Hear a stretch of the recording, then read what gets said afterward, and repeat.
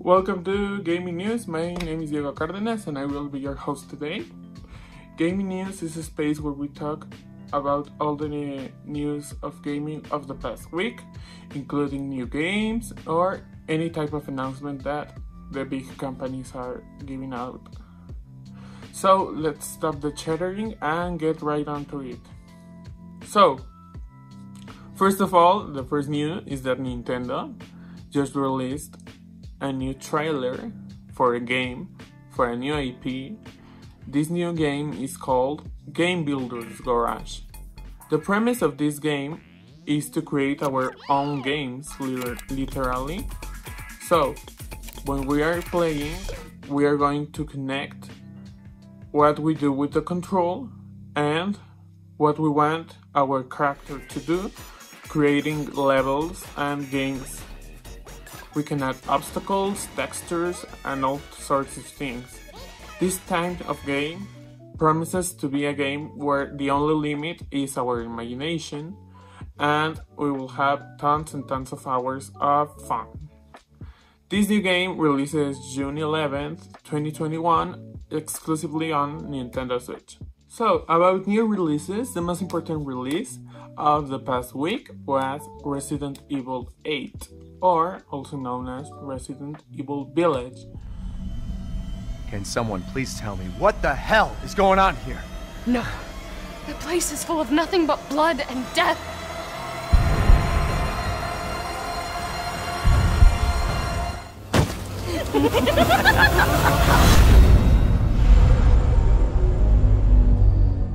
that is a sequel and happened some years after the last Resident Evil, Resident Evil 7 Biohazard, where we will be exploring both the village and a haunted castle by monsters. This promises to be a frightening and fun experience from Capcom. It had an 85 from Metacritic, so we hope everyone that bought the game is enjoying it and don't forget to look out for our review later this week. Uh, other releases from this week include The Colonists for all consoles, Metro Exodus for all consoles, Non-Guns, Doppelganger editions for PC only, and Skate City for all consoles as well. So, to finish it up, we have great news actually. They are regarding the E3. As you may know, the E3 is the biggest and most important gaming event of the year. We already have confirmed that we will have an event this year after last year's cancellation due to the pandemic. So, what are the great news? Well, more companies have confirmed their assistance to the event the most notable of which are Sega, Square Enix, and Bandai Namco. They are coming to this event alongside other big companies that already confirmed their presence in the past as Nintendo and Xbox. We are looking forward for this event and we hope that you are too. Thank you for joining me in this game news. My name is Diego Cardenas and I hope you have a great day and we'll see you tomorrow at the same hour in the same channel. The government has told us, society has told us, teachers have told us, our own parents have told us, video games causes violence, especially in very young children. But is it actually true? Is it actually true that a simple mobile game or a PC game can cause somebody to commit a horrific crime? Well, in this video, we're going to analyze just that. According to the Pew Research Center, what I call an independent think tank in Washington, United States, in 2018, 97% of youth aged 12 to 17 have played a variety of video games, and two thirds of those youths have played any violent game. You know, the ones that involve shooting, stabbing somebody, hitting the cops, maybe running over pedestrians, all that. Also found out by this Pew Research Center, it has said that boys tend to play these violent video games more than girls. You know, as they say, boys will be boys. A separate research has found out that half of the video games rated by the ESRB, the Entertainment Software Rating Board, you know, the ones that these ones right here, the one that you possibly have seen in like trailers, contain violence. And 90% of those are rated to be, um, you know, neat and ideal for children on under the age of 10 to older. Research, public policy makers, and the general society or the general public have agreed that there are two factors of video games. One, that video games present themselves to be educational and you know can teach us new things, can teach us about history, but it can also contain a bit more graphic details of violence more than cinemas or TV shows, or comics in general. Second and final factor is that ultra-violent video games started to appear in 19 in the 1990s, meaning that more children were having more access to this, and basically video games had a bit more liberty than cinema, television, comic books were before, and so they were free to like make as graphic as they can be the video games. We can thank Albert Bandura for trying out this theory about that children are influenced by violence and can cause them to be aggressive with his very famous experiment called the Bobo doll experiment. He separated them in two areas. In one area, both the boys and the girls were watching as an adult was kindly, tenderly, and you know, caressing the Bobo doll. That was the main thing of the experiment, the Bobo doll and in the other side, in the other room, children were standing there to watch an adult beat up with a hammer or their own fist or throw it across the room with a Bobo doll. And the results were like this. Basically, uh, that the children that have watched the adult kindly care for the Bobo doll acted the same way as they have seen seen the adult do, and the children that saw that the adult, the adult, the adult beating up and punching the Bobo doll, they acted the same way. This comes with the conclusion that for certain that kids can be influenced by what they see and what they and what they observe, what they hear from adults or any kind of the media. So we can surely say that from all of this that we have talked about in this video, that video games in younger children can sincerely cause them to be a bit more aggressive, like punching, kicking, dreads. You get the point. But for sure, we can surely we can surely point out that video games definitely does not causes a child to grow up and be a murderer, a serial killer, a shooter, or anything else that's just something more deeper than that. Just than simply just scapegoating the video games like the government has done as well as the society. So just chill. It's more than that. For sure. Hello and welcome to our tv show player one. In this section we are going to talk about evolution of video games. What is about? Well we are going to explain here right now. First, we start in 1940, where the first video game arrives. The creator of this video game is Edward U. Condon.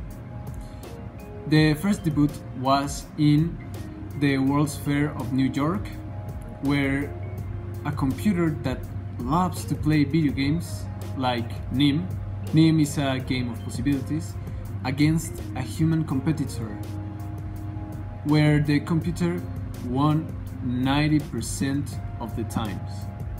That is incredible. Also, they developed that computer in that time. Then, in 1967, it arrives a new video game that is called Pong. Pong is a game of uh, genre sports. Uh, the creator is Allan Alcorn Alcorn while he was working for Atari. Uh, the mode of this game was uh, single player and multiplayer. Uh, this video game was a success in the video game industry and due to this su- success in the video game industry several companies start to produce this game and now pong is part of our popular culture then the video games meet the television and the responsible for this action was Ralph Baer. Ralph Baer created a prototype of a console of video games that allowed users to play video games on TV screen. Imagine that, in that time, playing video games on the screen. It's crazy, right? In 1989, the nemesis of NES was created, and it's called Sega Genesis. This company developed a new character that would bring the older gamers. This character is very popular and famous, like Mario Bros. And it's called Sonic the Hedgehog. Sonic is a mature uh, character than his counterpart Mario. In 1992 and 1993, in the video games, the blood was the spotlight. These games, these fighting games and shooters like Mortal Kombat and Doom hit on the market.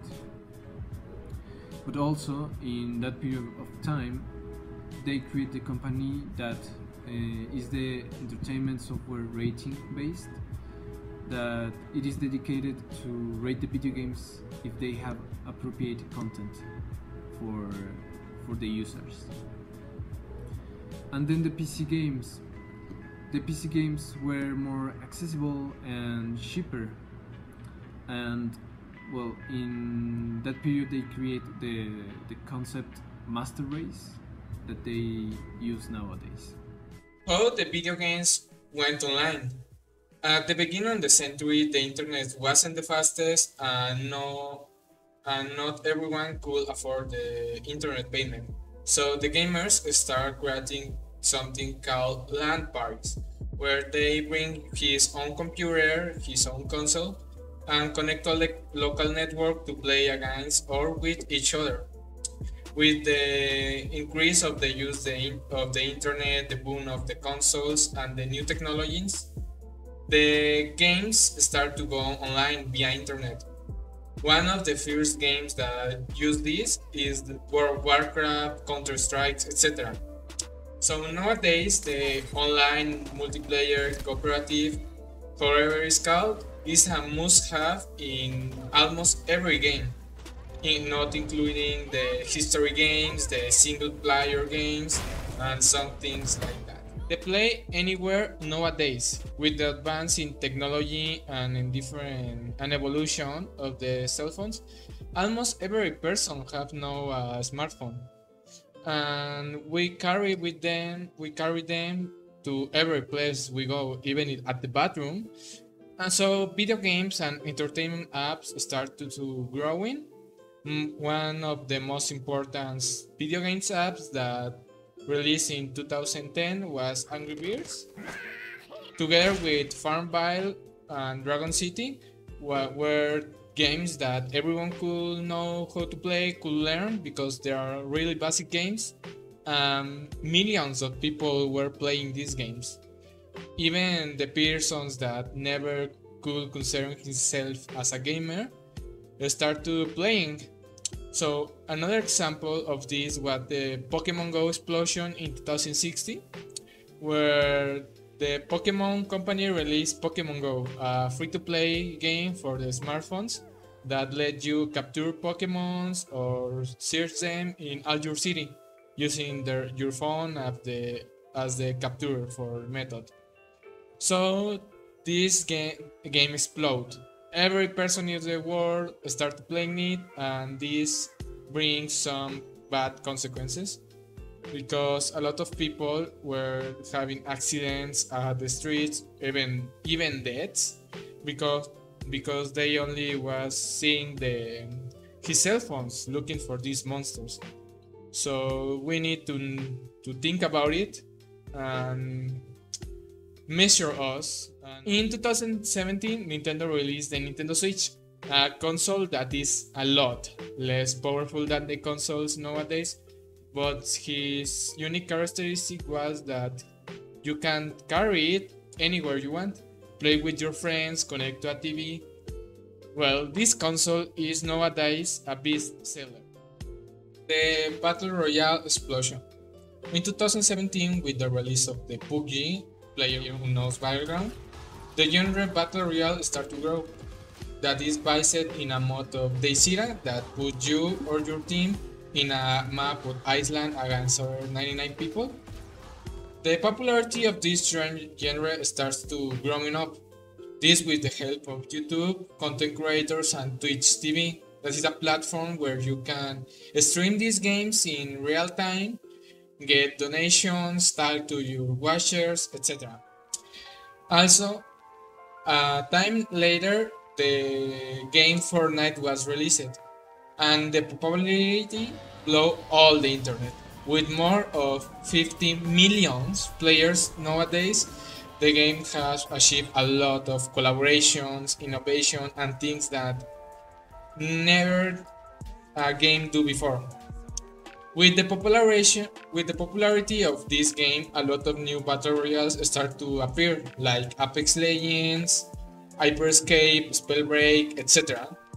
Even if they have greater innovations or new game game modes, uh, they don't become as successful as Fortnite. We don't know how the games will evolve, what new game release will change the world of the gaming, but stay tuned to our program Player One.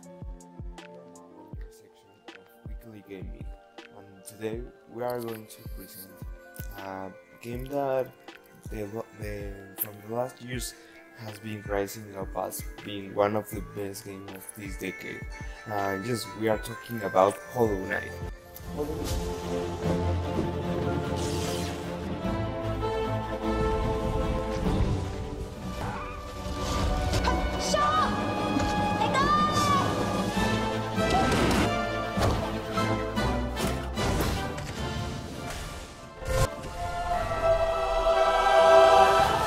Hollow is a game made by a group of people named Team Cherry. They started the developing uh, in 2016, but they finished it around 2017 with a Kickstarter foundation. And this game has been so popular and so acclaimed by critics and fans all around the world. A really amazing job that you can do.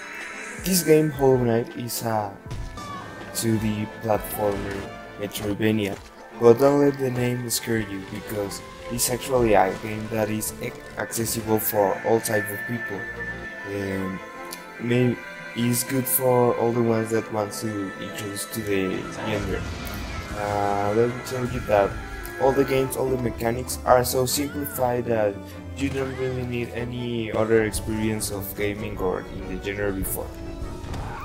This game is about exploration and all the time you will go around the Hallownest, finding new things, objects, fighting enemies, exploring, solving puzzles. And the mechanics of the game make it so satisfying that you want and want, want to play. It's so addictive and so intuitive. Now for one minute let's just think that this is a game that can offer you more than 100 of hours of pure gameplay. And it's ridiculous the price it has because it is about six dollars. So it's ridiculous the amount of things you get and the price you pay. So it's a big offer that you cannot let pass. Uh, Hollow Knight is available in all platforms. And I really recommend this game. It has our improvement and hope you enjoy it. So let's keep playing.